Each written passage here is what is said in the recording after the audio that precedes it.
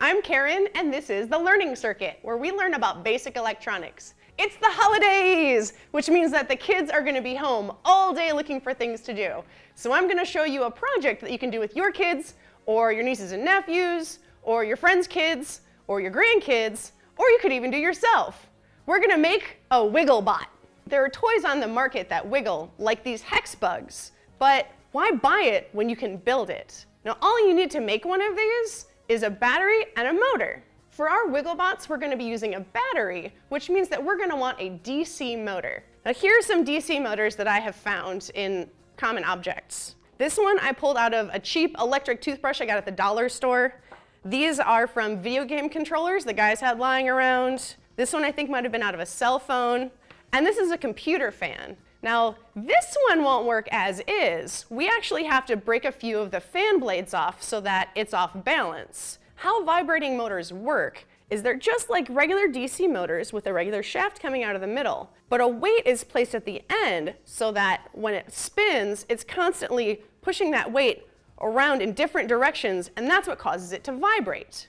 Once you've chosen your motor, you want to make sure that your batteries are going to supply enough power to make it run. This motor is out of the electric toothbrush and only needed one AA battery, so it can run on 1.5 volts. This fan says right here that it needs 12 volts to run. Now I know that I can hook up a 9 volt battery to this and it'll still be enough power for it to turn on. A lot of motors have an optimal rating where it'll say it wants 3 volts to run or 5 volts to run, but a lot of times it can use a different voltage, maybe a little bit more or a little less to run. So let's look at our battery choices. To get 3 volts, we can use either a 2 AA battery pack, because each battery is 1.5 volts, so times 2, that equals 3. Or we could use a button cell battery. A CR2032 is also a 3 volt battery, so we could get a pack like this. If we need a little more oomph, we can use a 9 volt battery with a snap. Now getting these parts doesn't have to be expensive. You can pick them up at your local store. Like I said, I got this motor out of electric toothbrush from my dollar store, and at the same dollar store, I found this strand of holiday lights that has a lovely 3 volt battery pack. And oh look, it also has a switch. How handy.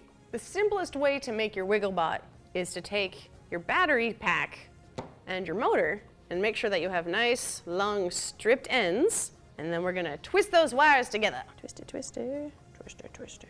Once you've twisted your wires together, it's good to cover it in electrical tape. That'll help keep it together, and you don't want your red wires touching your black wires because that'll cause a short and make it not work. Black on black. Oop, nice and good. Okay. It's gonna be tricky because as soon as I touch it, it's gonna turn on. Oh man. Oh, should have my tape ready. Twisty, twisty, twisty. It's alive! Well, that's fun, but I feel like we need a little bit more than that.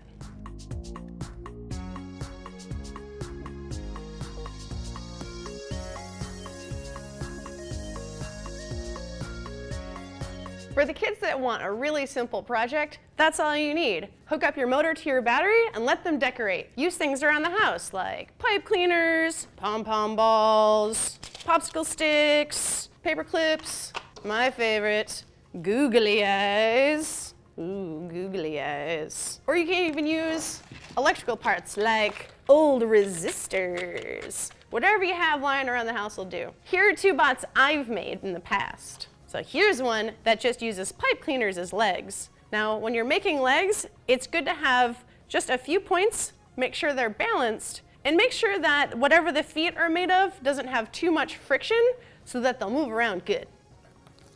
Wiggle, wiggle, wiggle. Wiggle, wiggle, wiggle. This one, I'm using markers as legs, so it'll draw while it wiggles. Whoa. Whoop, go that way. No, go that way. Look at these beautiful pieces of artwork. Conveniently create Christmas presents for your relatives using your Wigglebot.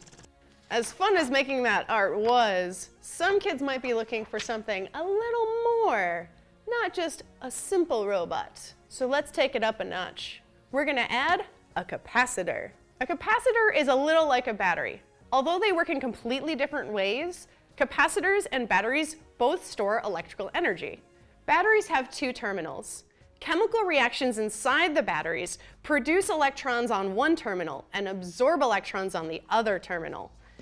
Capacitors cannot produce electrons. They can only store them.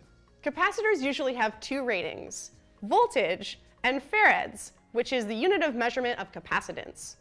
For our project, we want to select a capacitor that is rated for approximately the voltage we'll be using and has high capacitance. I selected a capacitor that's rated for 5 farads and 2.7 volts. In this new circuit, we're going to replace the battery with the capacitor. However, the capacitor only stores energy, so how do we get energy into it?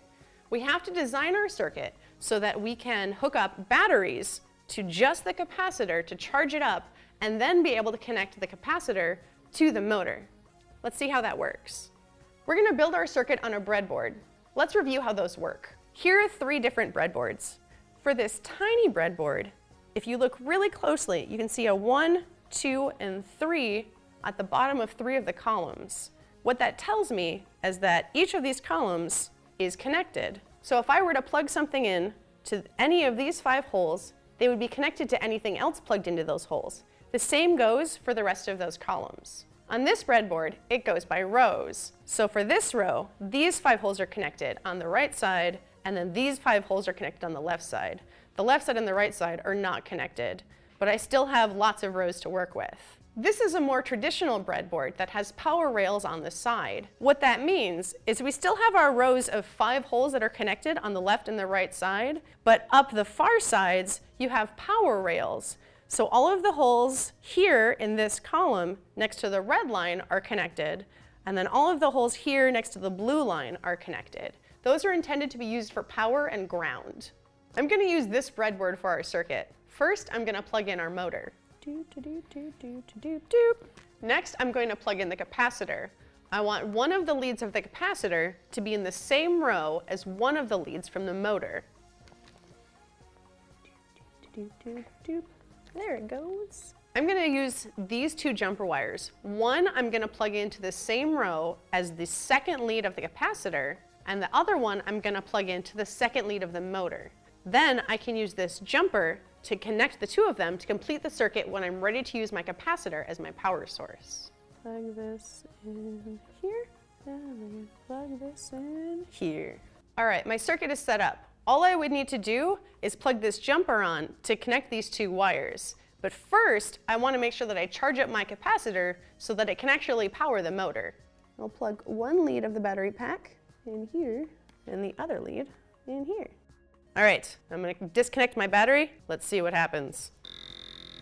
Success!